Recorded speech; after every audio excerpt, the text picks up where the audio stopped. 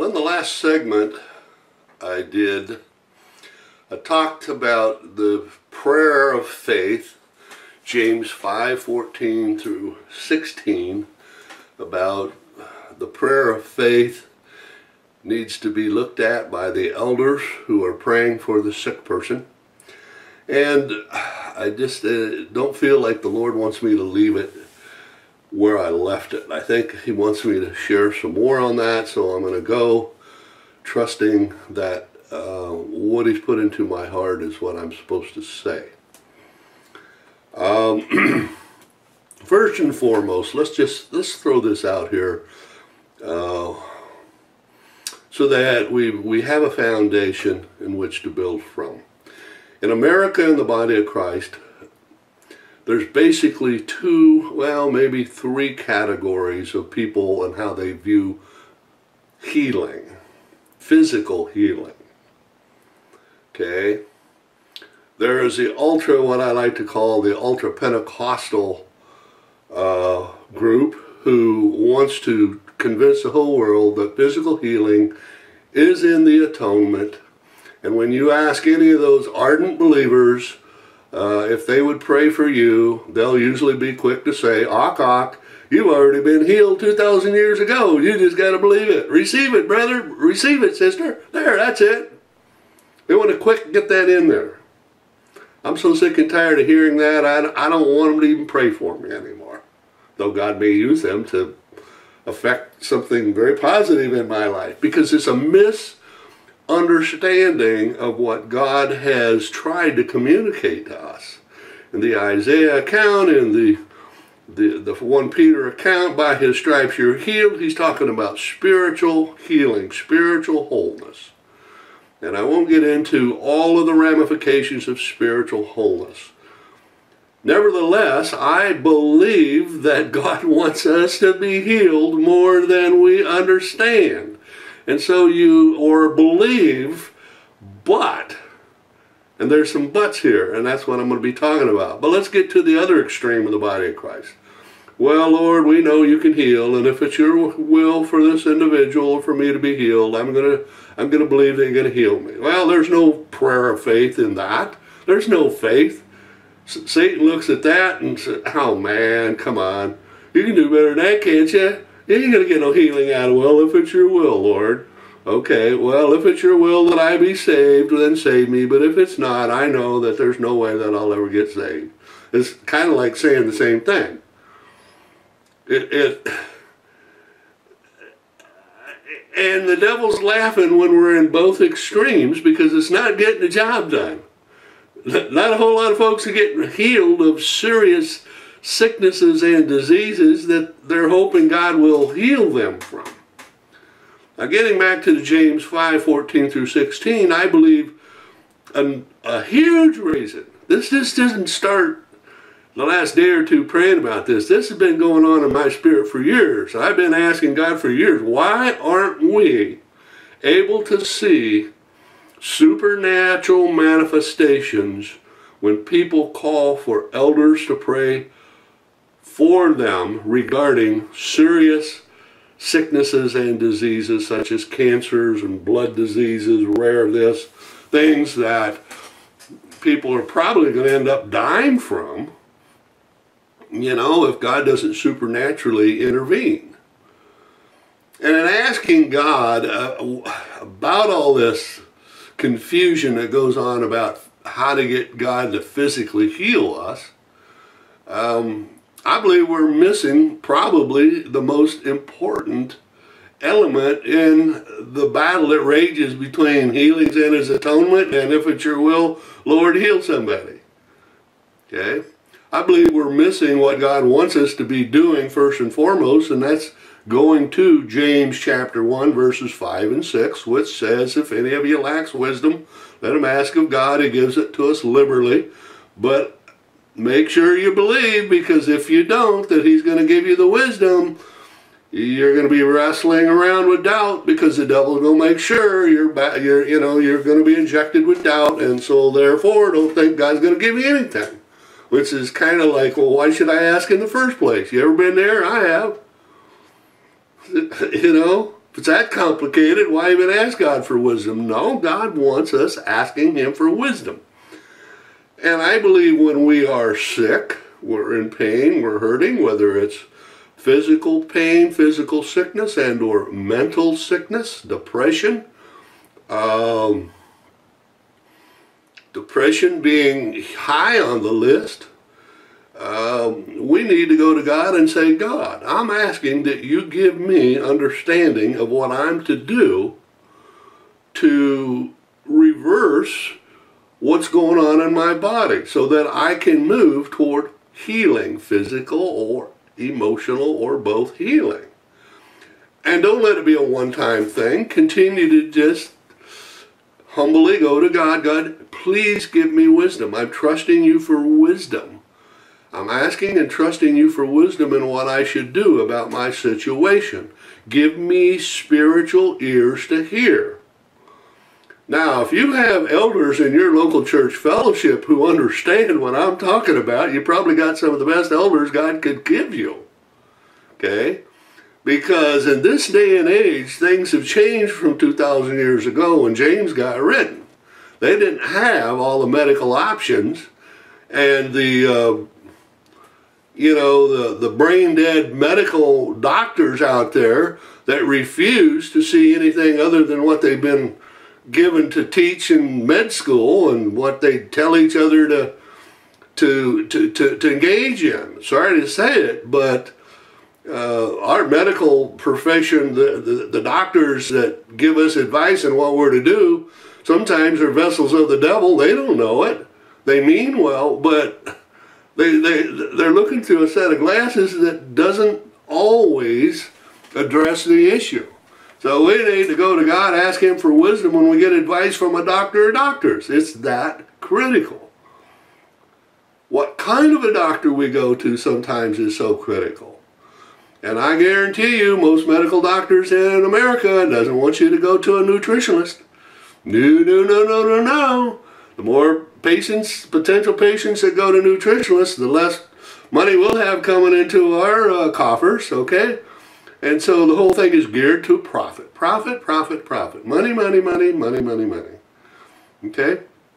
And so I believe God is saying, I'll tell you why so many people are not getting healed when they go to the elders of the church and have prayer uh, for their sickness or individuals praying, whether I'm praying and trusting and or, you know, somebody else I'm asking to pray and trust with me because we're refusing to look at something that they didn't have thrown at them back in the days that James wrote.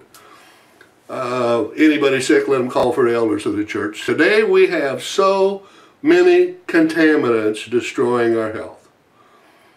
We have so many things that we are putting into our bodies for years, for many of us, that have torn our health down, have destroyed our immune systems, have got us all whacked out of shape to where these bodies can't do what God designed them to do. Okay? And we need to be hearing God say, I, I will heal you, I want to heal you. You, know, you go in, I don't go to a doctor and say, well, doc, is it your will that I get healed or not? He'd laugh at you and say, what? I'm here to help people. Well, I believe God is the same person. I believe He wants to help us more than doctors. So I don't go to God and question whether He wants me to be healed or not. That's just a given. He wants His best for me. He's a good God. He doesn't want me in pain. He doesn't want me sick. So I go in, I don't have to, and I don't have to get that from by the stripes you're healed. It's in the atonement or any place else, a one Peter account. No, no, no, no, no. That's just common sense. Just use some common sense in all this. So, okay, God, I'm asking you for healing. I'm trusting you for it. Prayer faith. Whether there's any faith connected or not, but nothing wrong with it. I'm asking for a healing. I'm trusting you for it. Now show me what I need to know and help me do what I got to do to affect that healing. I think it's the wisest way to go about healing when we're seeking God for healing. I really do. You may feel differently, but we can agree to disagree. Um, so, I think that's all I'm going to say about it. It isn't simply a matter of praying a prayer of faith or a prayer of just asking or any other type of prayer. We can even determine to fast 40 days if we're able to make it and still maybe never see God heal us. And here's the reason. If we are putting contaminants into our bodies that are tearing down our health, tearing down our immune systems, our heart functions, all of the things that need to work together to maintain a healthy body. If we're tearing them down from the things that we eat and or drink and with no lack of exercise, and the more we hurt, the more we don't want to exercise, I realize. Um, God's not doing us any favor by supernaturally healing us when we only go back and keep doing the same things. Or we're constantly going to be needing more healing for the very same issue because we haven't got to the source of what's causing the sickness and or disease. Now some sicknesses, some diseases have gotten such a stronghold in our bodies that maybe God's just going to say, I'm going to let you come to heaven. Um, it's too far gone. Besides that, I want you up here. You're going to enjoy it in heaven.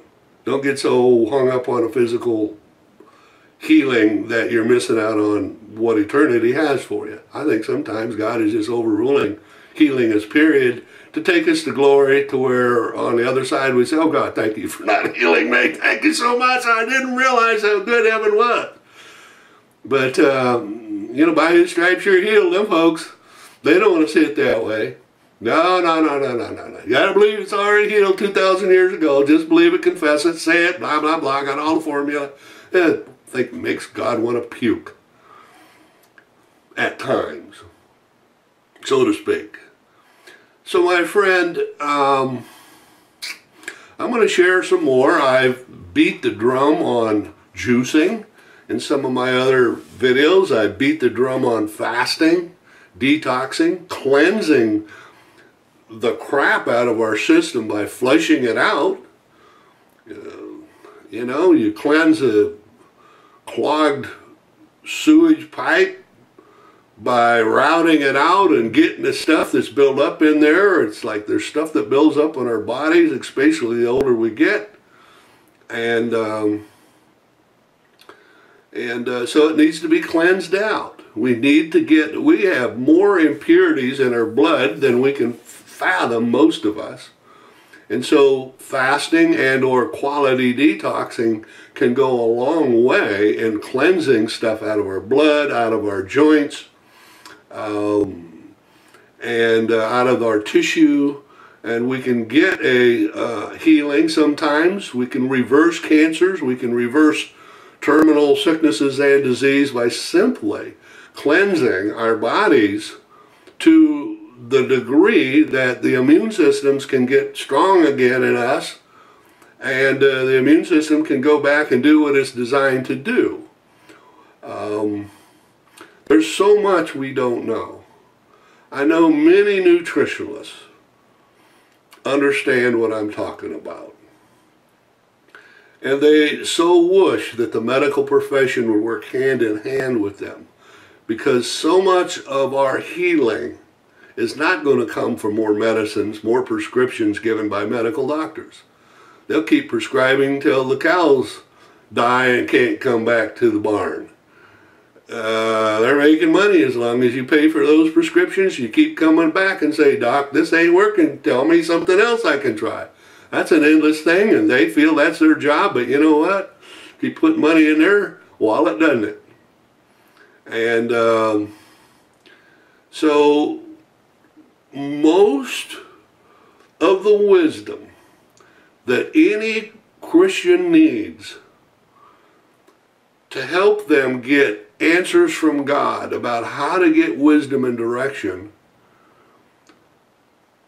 to have better health is on the internet. I like to call it Dr. Google because Google dominates until something changes. Go to Dr. Google. But in going to Dr. Google, it's like looking up any topic, uh, any spiritual topic. You got myriads of people saying myriads of things about a given thing, and you can walk away if you don't, if you haven't been at this very long and get wrong advice. Boy, you get into healing, and you, you, you know you. Let's take the topic of uric acid. Uric acid is responsible for more arthritis and rheumatism, especially in older people, than any other issue. And if you do a search on uric acid, how to get rid of uric acid in the system, you get to the medical doctors and they're going to give you all kinds of medicines that are available. And you can try this and you can back off of some of the foods you're taking and drink less and less of this. And you know, if that don't work, be sure and consult your doctor so your doctor can give you something else to try. And you will never find, I mean, pages and pages of quality medical websites, quality medical professionals will never tell you, try some high dosages of pure lemon juice. It's not there. I've studied it, I've read it. Rare will you find it. Okay? I mean, pure lemon juice. High amounts of it taken periodically or to do a detox flush of your system can do more to rid your body of physical pain, especially if it's arthritic related pain, than about anything else you can do. There are other compounds, other things that also work, but pure old lemon juice, squeeze lemon juice, sweetened with honey if you need a sweetener, okay, not refined sugar, not artificial sweeteners, though any is better than none, because drinking sour lemon juice is tough. I prefer honey. I even, at times when I'm drinking a lot of fresh lemon juice to cleanse my body, um, I drink a lot of uh, honey in my coffee when I drink coffee, so I'm getting a lot of the nutrition, uh, you know, in from the honey in my coffee. So I like I like punch, and so when I'm taking higher doses of uh, raw lemon juice to cleanse my system out, cleanse cleanse organs and the blood and the joints, and whatever else needs to be cleansed, I like to add some plain old uh, 7-Up to it, you know, and, and that adds the sugar component and it tastes it tastes like I'm drinking punch at a at a wedding. You know, I like that. The amount of sugar. I know a lot of people to be down on sugar, but I'm looking at the uh, ingredients. If I drink enough lemon juice, um, it'll far override any of the detriments that in the fructose within the uh, Seven Up. Okay, and you know, then if you go to the uh, holistic or the, the nutrition websites, so many of them are trying to get you to buy something from them. They're there to get you to buy something from them. Somehow, some way they're touting some snake oil formula that may help, may not. Look, anybody who understands the benefits of detoxing and or fasting detoxing that's been around who studied will tell you raw lemon juice is probably the very best and it's the cheapest. There's so much quality nutrition your body may be starving for in fresh squeezed lemons. Okay, and it is one of the best known inflammation fighters there is because so much of inflammation is a backup of uric acid and they're finding some other ingredients Okay? So they're still trying to find out what is what it is about these acids that's building up uh, in key places in our bodies and breaking down organs to where we're catching these sicknesses and diseases potentially. So that's just one thing I want to get off of that. But uh, I, I, I'm convinced that drinking a ton of raw lemon juice, especially when we're having high amounts of bone pain, muscle pain is one of the best things that we can do. Probably taking it periodically, looking at that, but at least, my friend, do a detailed study on the benefits of drinking raw lemon juice. There's other quality juices for different issues, but raw lemon juice is one of the best things. You need to have that information, my friend. If you really are serious about wanting God to keep you from getting sick, and or if you're sick and or diseased, to get delivered from it. Again, let me end this. If anybody thinks I'm against healing, they're wrong. I believe God wants us healed spirit, soul, and body. I believe that. Yet with sin that has entered the world, we have young people inheriting sicknesses and diseases. We have so many things that are dumped on our young children. And sometimes there is no magic potion that God would give us. And they're going to die with it. I have to live with it. But if we, the parents or overseers of those children, can look at quality food and drinks to give those children, in addition to listening to the counsel of medical doctors as is available, just asking God to give you spiritual ears to hear and to discern what is good for our situation. That's what I believe God is saying about all of this. It isn't just physical healing, it has to do with everything that we are uh, a part of in this life. Okay? You can go to churches, local church fellowships, and there is excellent teaching. Excellent, excellent teaching, excellent ministry going on. And yet, there can be hard, fast doctrinal positions that are doing people more harm than good. It is the condition of the body of Christ on planet Earth. So we need wisdom in what we're going to believe when somebody's trying to tell us this is the way it is. Trust me, this is biblical truth. This is accurate revelation of truth. Uh, no, not because you said it. I want to go to God and I'm going to ask for wisdom in what I'm to believe about it, and I'm going to patiently trust. I believe God wants us praying the prayer of faith 100% of the time when it comes to what do I believe about the Bible. I believe He wants us to pray the prayer of faith 100% of the time, and He will back it up if we're cautious, patient with Him. God, what do I believe about doctrinal issues in the Bible? What do I believe when somebody tells me I'm supposed to believe what they're preaching or teaching to me? Just like me right now. If you're wise, you'll go to God and you'll ask Him for wisdom and trust Him for wisdom as to whether I know what I'm talking about, maybe a little bit, maybe not at all. Don't listen to that guy ever again. Or you know what? This guy probably's got something, you know, that will help me look more into um, this issue of uh, healing. That's the Holy Spirit's job. He is truth as Jesus is truth. He will lead us into all truth. And he wants us to know more than anybody else on planet Earth, including all of the doctors out there. They'll praise God for doctors. You know, when my car doesn't work and I can't fix it, I'm not going to take it to the elders and ask them to pray the prayer of faith so it'll work again. God's saying, don't waste their time, don't waste your time. Take it to a mechanic, a trusted mechanic. Let him diagnose it, let him fix it. Okay? Um, or go ride your bicycle, take your pick.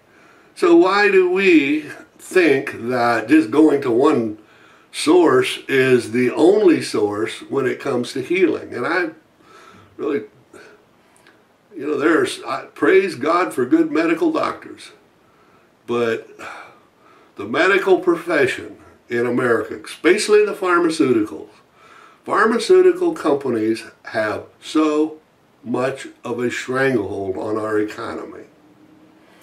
They do. It's just the way it is. And bless God for the medicines that help people. But I'll tell you one thing, never forget, they're there to make money.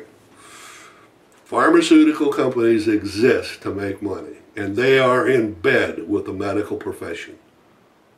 Because if they don't have doctors prescribing their pharmaceuticals, their drugs, their medicine, they don't stay in business very long.